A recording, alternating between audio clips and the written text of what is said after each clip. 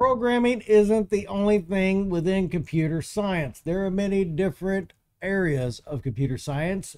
Think of computer science as one big, massive umbrella.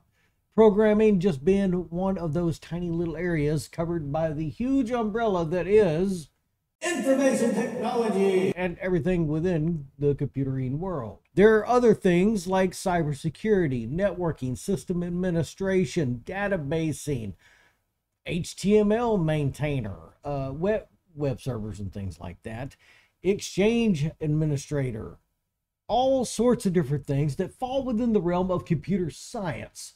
So whenever you are looking at a career or a new hobby or habit to take part in, and you hear the term computer science, don't just think it's somebody sitting behind a computer programming or scripting all day long. There's plenty other things out there that you may find enjoyable that you just don't know about yet.